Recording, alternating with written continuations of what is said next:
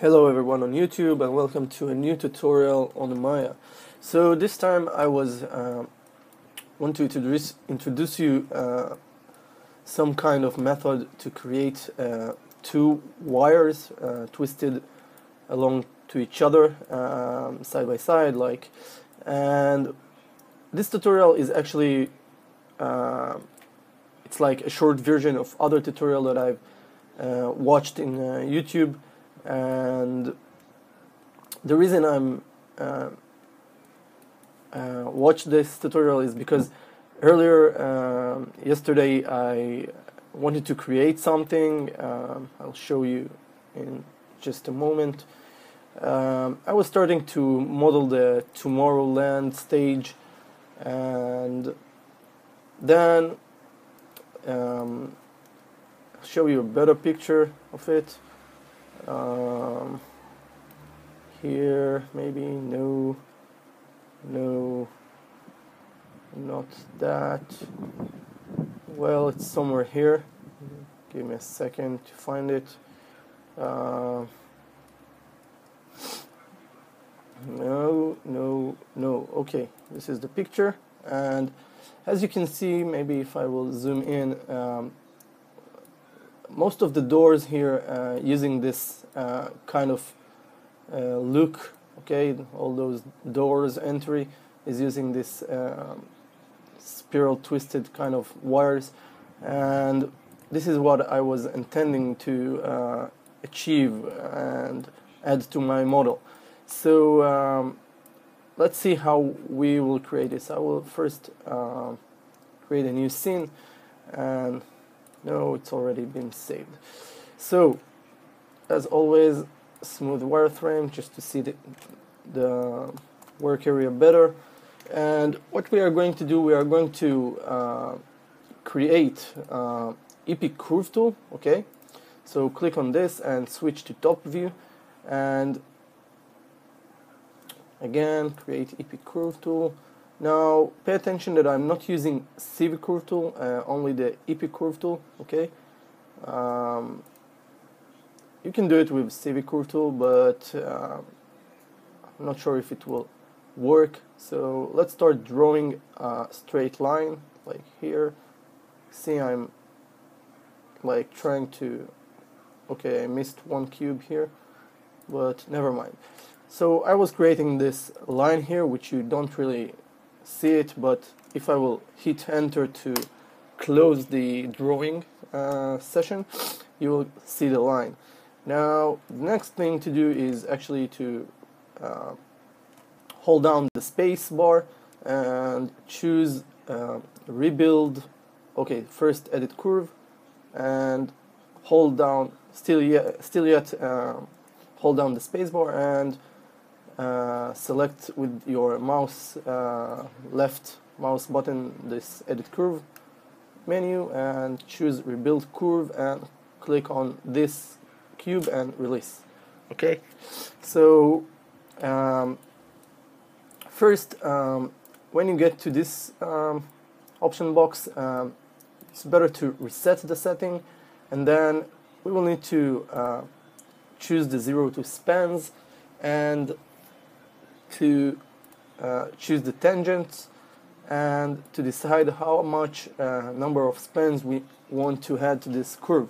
So let's say 25 it's enough and click on rebuild. By the way, make sure that the curve is uh, been selected before you do this. Okay, so rebuild and now if I will right click on this you will see that uh, you have 25 uh, okay, um, some kind of UV um, vertices or whatever, okay, and these are like uh, the 25 that we rebuild. But before that, uh, I was creating this line from uh, I think five or six um, points. So um, now we have 25 and we want to create now a cube and let's tap on 5 to get the shade mode.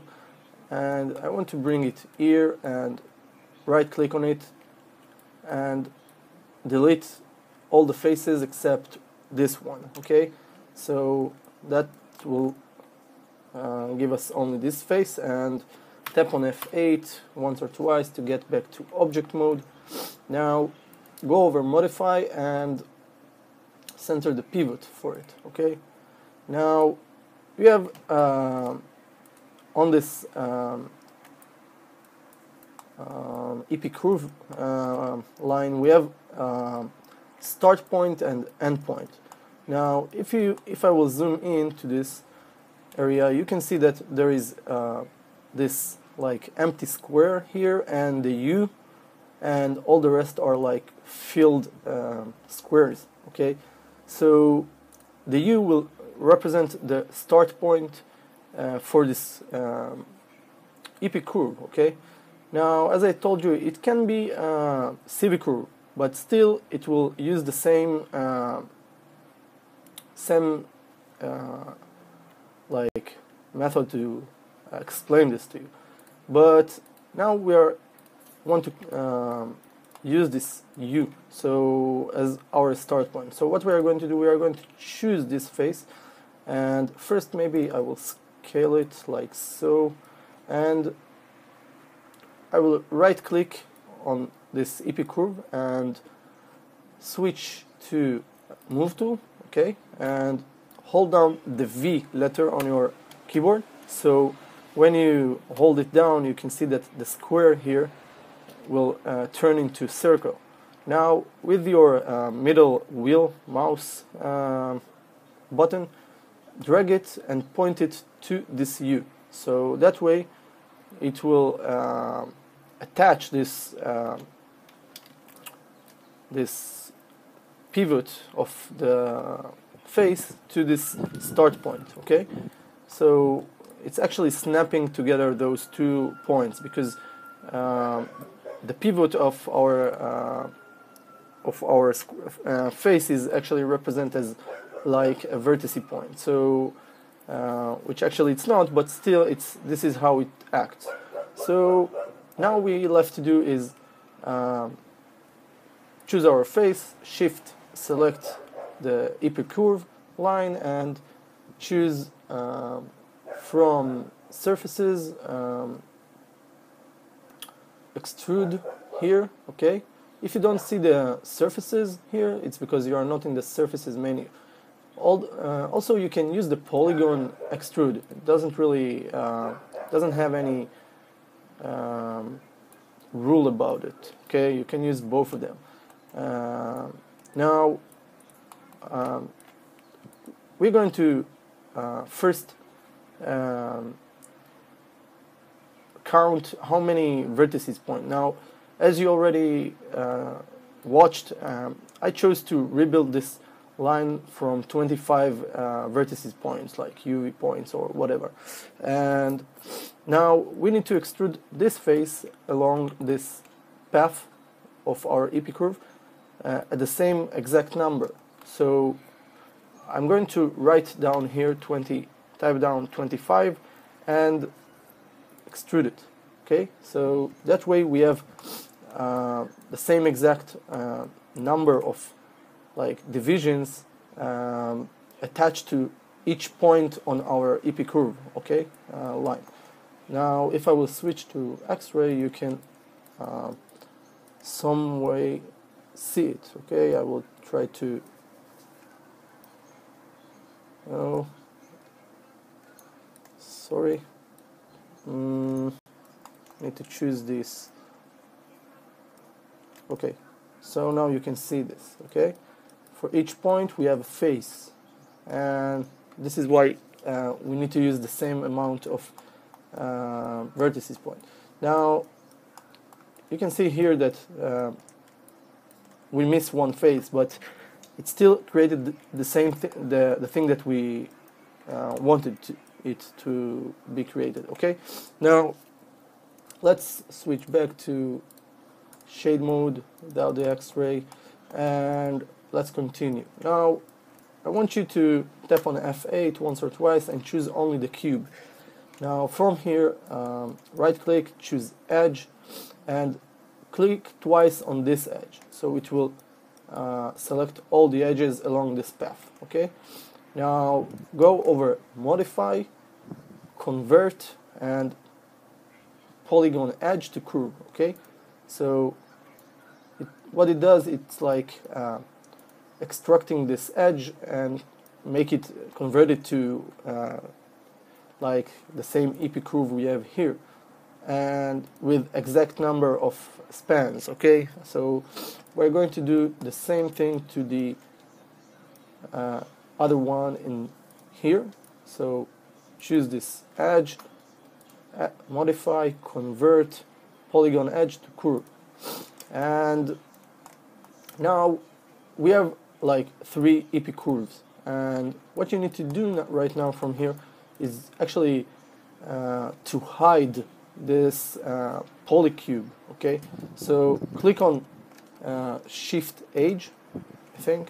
No uh, control edge or whatever just try to hide it okay control age or shift age or alt age, I'm not sure how it's work uh, on Windows I don't remember but just try it now the next thing is uh, to create uh, NURBS primitive circle. So click on this and this time we do use the interactive, uh, interactive uh, creation tool.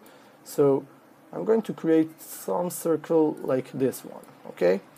And now switch to the select uh, tool and select the circle, choose this uh, um, EP curve and go over surfaces surfaces here and choose to um, um, yeah I think extrude click on this and make sure that the settings for it uh, reset them and make sure that uh, you click on add path and component okay?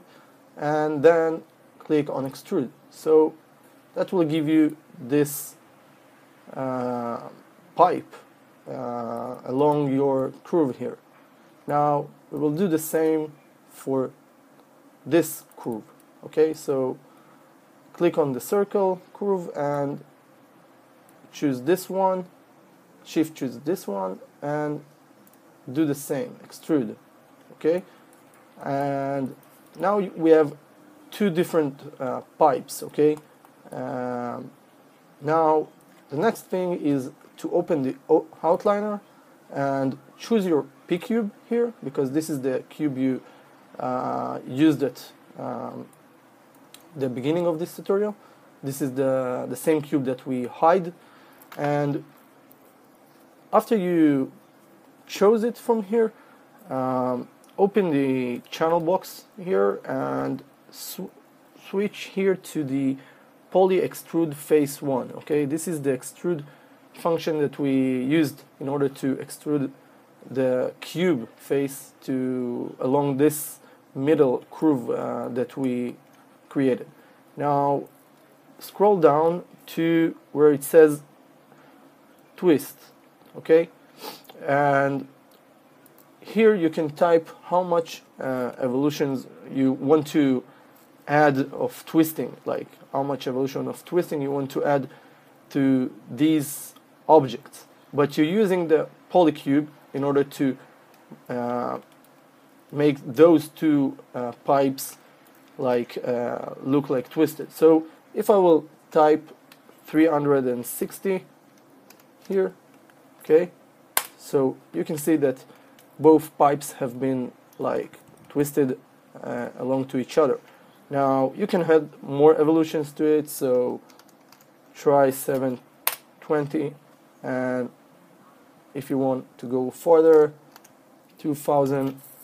2880 and this is what you'll get okay now um, the last thing you can do uh, is to catch this middle EP curve, okay, the circle, the circle one, and you can use the uh, scale tool in order to also scale them both, okay.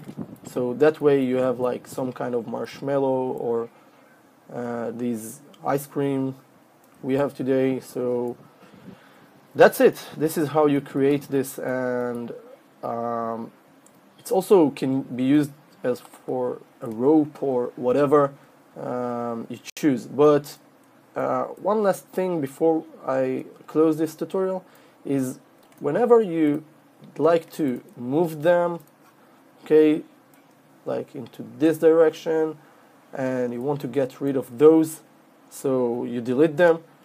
Um, this is the better way to do it, okay, because uh, that way um, the curve won't interfere you anymore. Um, but if I will undo this and I will try to like um, move the curves, uh, they will also uh, move the the mesh. Okay, so this is not what we want, and let's undo this. And also, if you will move any vertices points, uh, you can see what what's happening to the mesh itself. So uh, it's always better to, uh, if you are happy with what you see here, is to copy this, move it to the side and get rid of the original pieces together with the curve and then you have it. Okay, that's it. This is it for this tutorial. I hope you enjoyed this and it was short and um, understandable. Okay and see you at the next tutorial if I will have time I will upload more tutorials uh, of any subjects I found and I will try to make them like shorter for you and easy to um, to create so that's it have a nice day we'll see you soon